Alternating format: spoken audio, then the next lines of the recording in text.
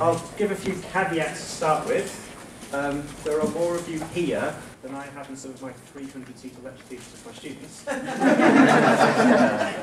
Well, I know how to bring them in. Yeah.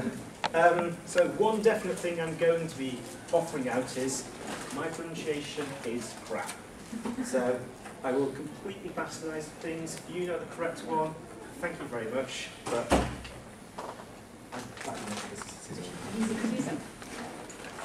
um, it was the 50th anniversary of uh, Cup Noodle in 2021. Obviously, we didn't have one, and Rob never invited me to the special version of the um, So here we are in 2022. There will be no pot noodles. We know there's lots of different versions of noodles, but there will be no pot noodles, no Sainsbury's Basics, whatever. solely on cup noodles. So I'll give a brief history. Some of this might be controversial. I've done quite a bit of research. I started looking at, looking at it and going, hmm, is that really true? Well, yeah, apparently it is when you start bringing a lot of sources together. So, history, brief history of noodles. Well, we know they're popular in Japan. In fact, they're popular since about the 9th century, so we can date them back pretty far. But most people will go, that's not the main place they first started, and that is true. Most say that actually it's the Arabs who started eating some form of noodles, and here we have here, uh, there's mention of around in the 5th century, uh, Jerusalem, calling them itrium. It's a noodle-like dish. If we go look through today, Morocco still have these things here, so we can see this vermicelli-like dish, so very thin, fine noodles, ones we've been used to. But there's also these Lebanese dishes here. They look very short and squat, so almost like a gnocchi, but they're still considered noodles. We start to branch off into something what's the difference between a dumpling and a noodle, and this is where we get some controversy. if we start digging a little bit further, well actually there's reports between the first and third century that there is text referring to things that we would classify as noodles. But the bread-shaped dough chopped up into what looks like a dumpling, they're not the main, main strands that we would associate with the noodle today.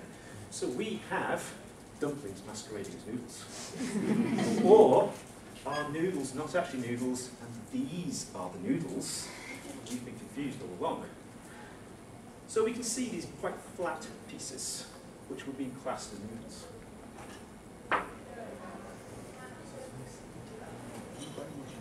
But hey, that blows everything out of the water. First century, no, we're going to go back even further. I'm a scholar. This is a nature paper where they found a dig that's about 4,000 years old, where they were starting to make noodles. These were millets rather than the standard flour we would be used to in northwest China. So China can actually claim to be the first people to create noodles that we have a record of. And somebody managed to get an paper from that. So yes, there are a number of other nations. You know, noodles are synonymous with Italy. Yeah, they are way, way. They came to the party not just late, but the party's already finished. Everybody's gone home, and then they came with theirs. And they were, but but we've shaped them in different ways. We still have noodles.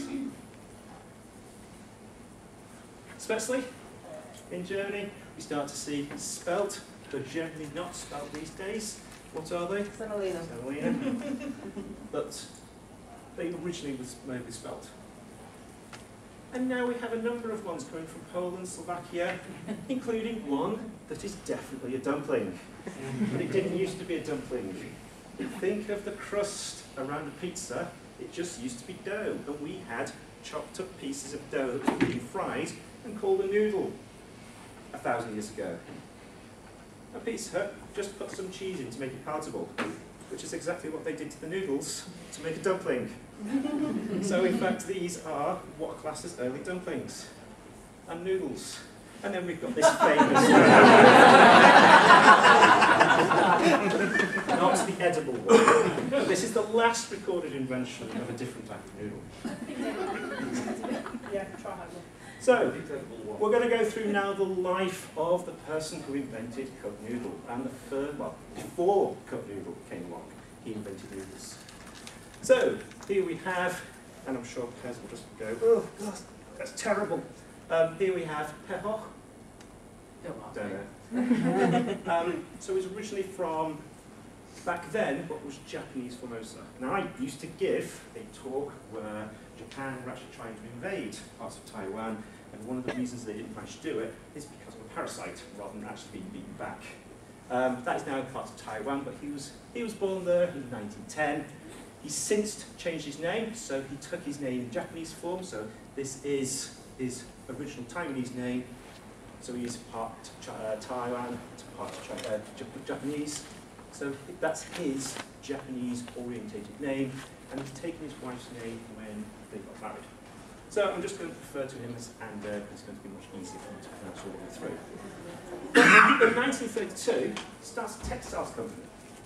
So, quite young, about 22 I think he was at the time, starts a textiles company, and then goes to Ritsumeikan University in Osaka. He's established a clothing company while studying. Talk about having a part-time job. But, well, if you're making stuff, you might as well add value and make some more money. So he starts making clothes. And then, dun dun dun, gets done for tax evasion. Now, he's actually sentenced and put in jail for two years. He says, I'm giving scholarships to underprivileged students so they can study at university. The Japanese government went, uh-uh, that's illegal, we're throwing him in jail. What I find really difficult with this, and I've searched and searched and searched, he's in jail at the time he starts his salt company. so I have no idea how he's managed to lose pretty much everything. So all of these companies went, he lost everything, but he manages to start a salt company with his grandparents, uh, Chuko Sosha Salt Company, and then we have this nice intermission here. What's going to go on here? See what we did there? This is relevant and comes back later. so it's not just in there for a pun, it is relevant. So as we know, there was something that went on in the 40s, and a few people had a few spats, a bit of disagreement, and a lot of people going hungry, and Japan was particularly one of them. A lot of it had been devastated, so they were having to try and get food. The US was supplying wheat flour. Great. They're helping out, keeping people alive. The Japanese ministry went, we're going to make bread with that wheat flour, because that's what people eat when you cook wheat flour in America and make it. But in Japan, no, no, no. We eat noodles. Why don't we make noodles with the wheat flour, not the bread? I mean, these are very, very fat sliced noodles.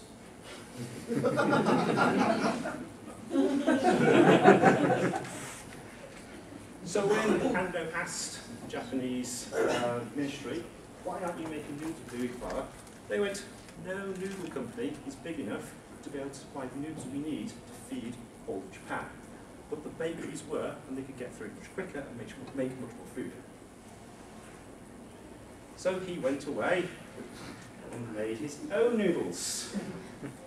So he starts developing his own noodles because he had this philosophy at the time. This is a quote from one of his autobiographies. Uh, peace will come to the world when people have enough to eat. And yes, as we see, if we just go back even, what, a year, and we start to see food shortages, people are desperate to eat toilet paper, they fly to the Absolutely fly to the So he spent about just under a year trying to perfect this flash frying technique. So what actually happens here is you cook them at 160 degrees for two minutes, it boils the, uh, uh, boils the water out of the noodle and leaves little pockets inside, which then when you add water to it allows it to be able to be cooked very quickly. So he's perfected this. Incidentally, in America, they air dry, they air cook them now, uses less oil, less calories, so they can probably eat three or four packs rather than just one pack, and it also cooks for 90 seconds rather than two minutes, but it still gives the same um, type of dry noodle. So here we are, 1958. Chicken ramen is sold for 35 yen. That's equivalent of £1.32 today, so quite expensive compared to some of the cheaper ones. At the time, it was six times more expensive than just getting fresh stuff. So we go back to our timeline. There it is. This is the original pack here. So he's started Nissin Foods, it's called Nissin Food Holdings, not called that anymore, and he's sold his first ramen, and now he's become a naturalised Japanese citizen following marriage. Why chicken ramen? Well, as he said here, it manages to circumvent a number of taboos related to religion. Hindus don't eat beef, Muslims don't eat pork, there's no religion which is against eating chicken apart from vegetarians. So essentially, it was a way of making sure he's got enough mass market to be able to sell it. 1971, he goes off to a trip to the US and sees people eating his ramen. But what they actually did was they break it up into pieces, put it into a styrofoam cup, pour hot water onto it, and then eat it from the styrofoam cup. So he nicked it, as an academic does. Nicked it, and then we have the iconic shape, the packaging, because he was like, great, you don't have to put it, put it in a pan, put it in a bowl, you can eat it straight from there. Not much happens apart from a few flavours, I'll come into those later. 2005, the launch of the Space Cup noodle, but it's not a cup. And here they are, they actually went up to the uh, space station, completely reformulated, so rather than being cooked at 100 degrees, they had to reformulate them to cook them at 70, because water doesn't boil quite as easily in space. And here we have three ones, the water gets forced in and reconstitutes. The broth is considerably thicker, so it doesn't splatter and float around in the space station, but you have the inside of a cooked noodle around in the space station. So he's, he's finished helping develop this, and then two days later he's passed away. We no longer have the inventor of the cup noodle. He's still remembered, and I'll show you some stuff later. But almost literally as soon as he's gone, it's like, yeah, we can change the name. He's not here anymore. So they've changed the name now. It's now Nissin Food Products Company Limited, and makes quite a bit of money. Must sell a lot of noodles. They do sell few other things as well. Even made a manga. What a surprise!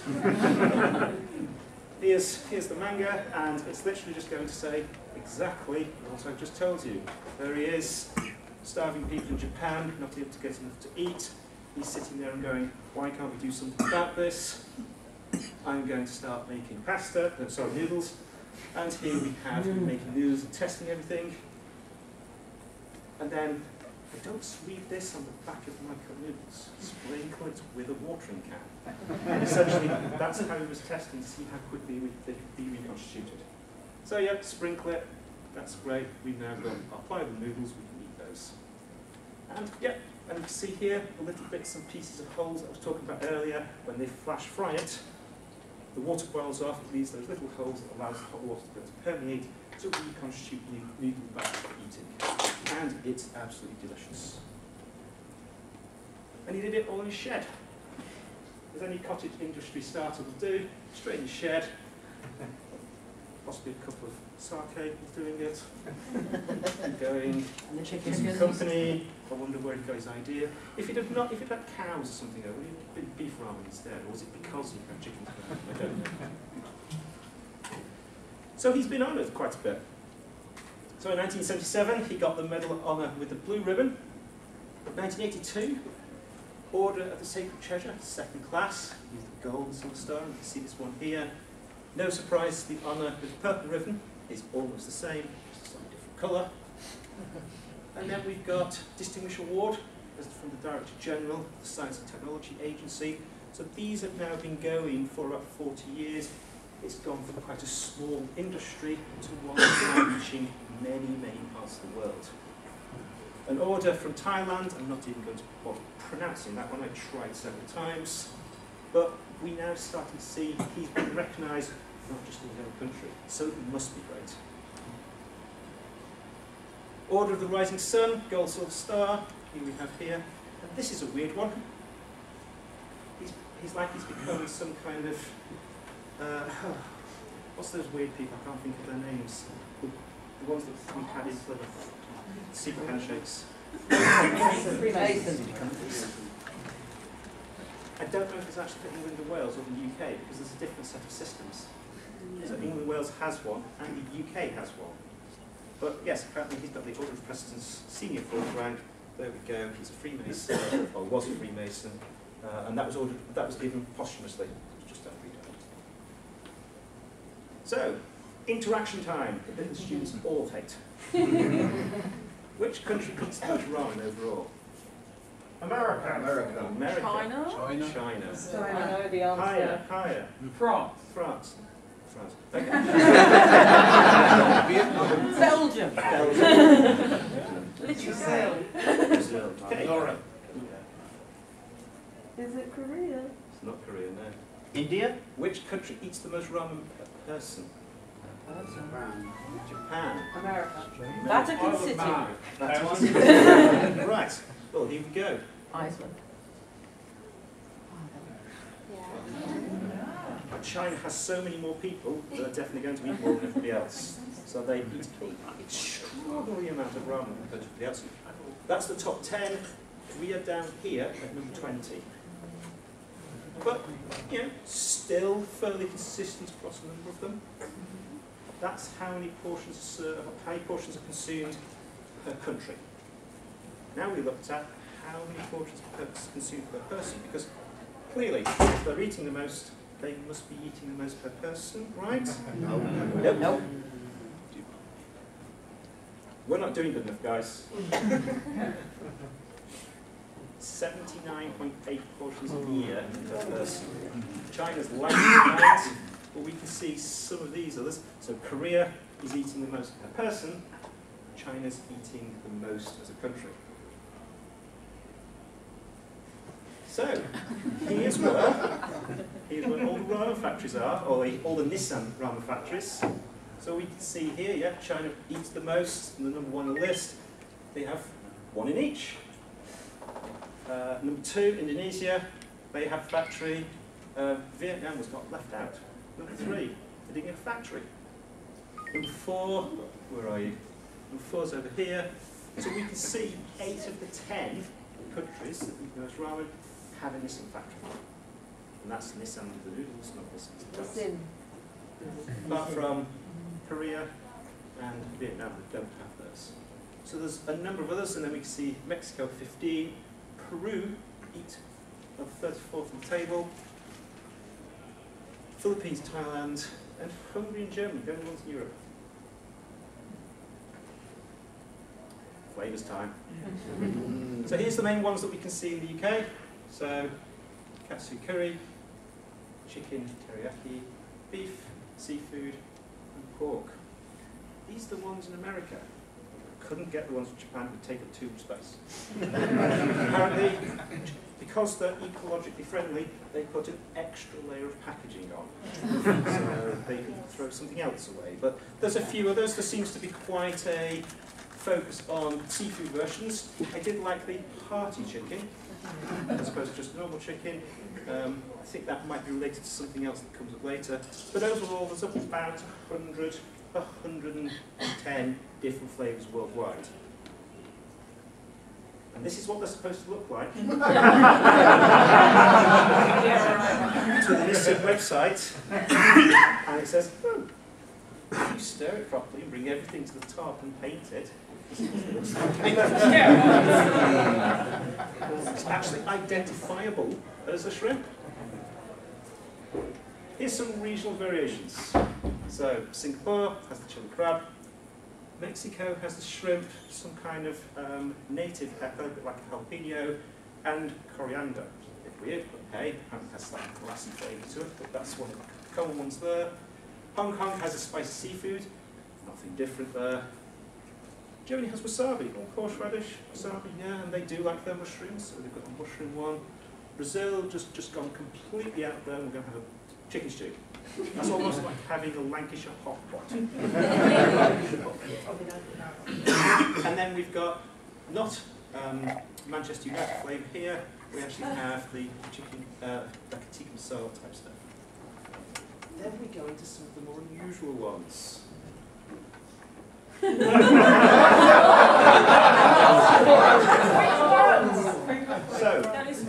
so, they did a tie-up almond flavour, and cup noodle did Pringles flavour. Oh,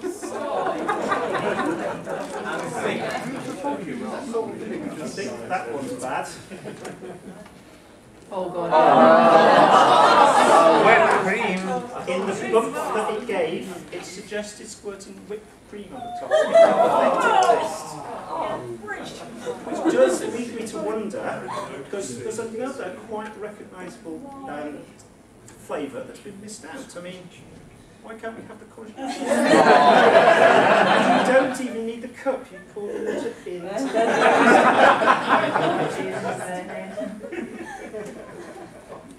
You're ever in Japan, there is the Cup Noodles Museum. There's one in Yokohama and there's one in Osaka.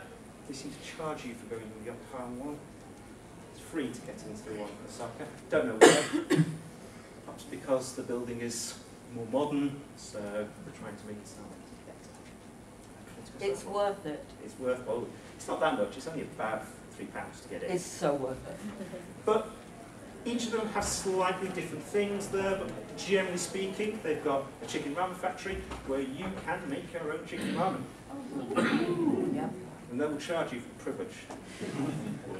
You can go to the cup noodle factory and make your own flavour. That's what they say on the website. You can. 5,000 combinations, but there's only four flavouring powders at the end. so you're not making your Pringles one, unfortunately. Um, they've got recreations, so one of them has the actual shed, one of them has a bin. Do you want to talk a little bit about it? I haven't actually been myself yet. The, the thing that's not on there, that I don't know if you're going to mention, is that the top floor of the Yokohama one has a has a kind of theme park for kids. Experience being a noodle. Being yeah. chewed on. Scold yourself. I assume that's where the children go and Yeah. never come back. Where do you think the noodles come from? It's, it's, it's totally worth going if you're ever in Yokohama. It is absolutely wonderful. You wouldn't believe it, but you will have so much fun. And the souvenir shop. The souvenir shop is amazing. And the cup noodles factory where you make your own cup noodles, they give you little marker pens, you design your own cup. Yeah. And you can make a cup noodle that looks like the one on the on the like on the website Mhm. because they literally give you the shrimps and stuff to put on the end. And then they shrink wrap it. They shrink wrap it so you can take it away. Yeah. It's gorgeous. And then you can just go through what is a more interactive version of the talk I've just given, which is exactly what it is. It's a story. It's not that much.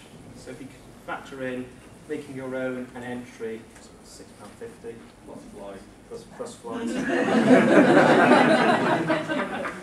Swim. So, yes, he's no longer with us. Google did a Google Noodle uh, and also an animated version.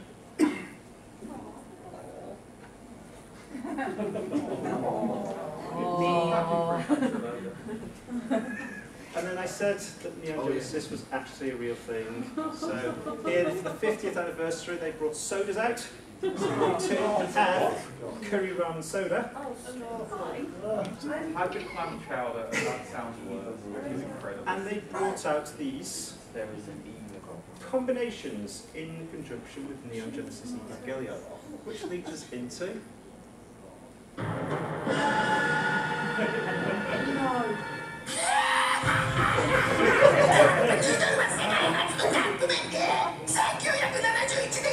18日に発売されてから今年で50周年だって何年待ってろいめろ一瞬あ俺パチンがマモ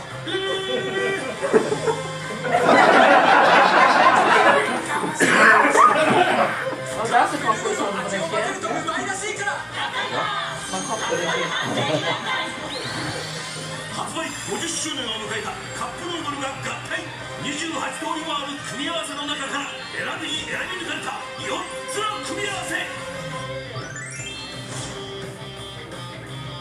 最強合体選手権今市場に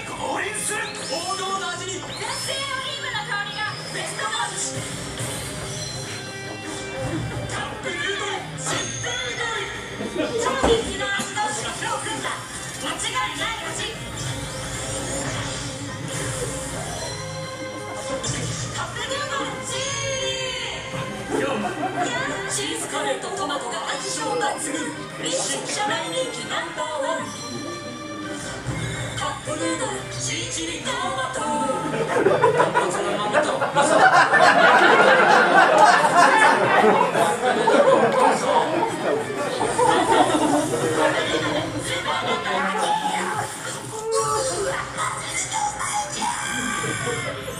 私の間違っ。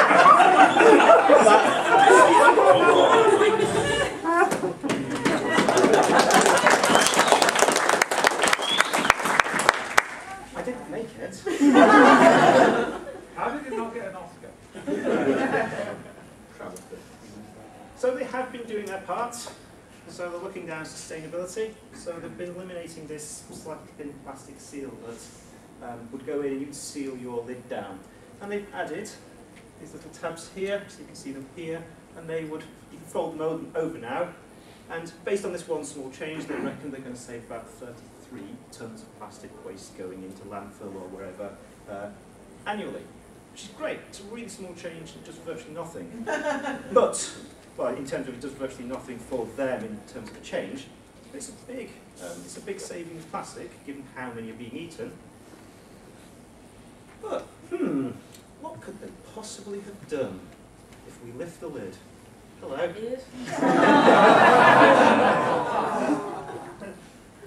Yep, so they're all there now, although there was a first batch sent out when they started doing this, there was a misprint, and people were on Twitter in Japan going, where's my cat? There's no, there was no cat in the, got the ears, there was no cat. The mascot, uh, so Hiyoko-chan, here we have it started off on some of the early packs, started out with some basic stickers to try and encourage you, has the promotional vehicle, you want to actually eat ramen from the inside of the chicken, okay, just open the chicken up and go inside. I do like the egg wheels though, I think those are pretty good. And now we go a bit further, sort of the usual stick paraphernalia. See becomes instantly collectible if it's been sold in really low numbers. Um, it's been memorialised on a manhole cover near the site, and now we have whole shops that are just serving things to do with chicken, but not actually to do with anything with ramen.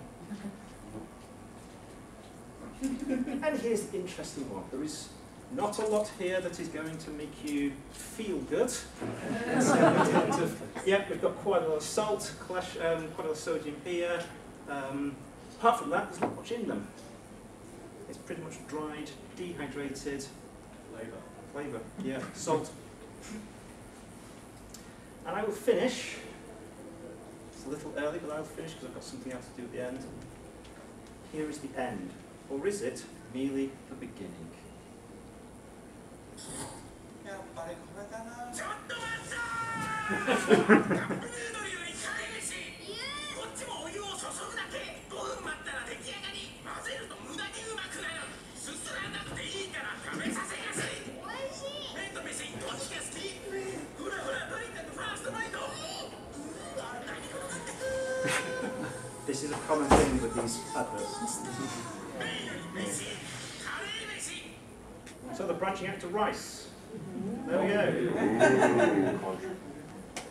guys.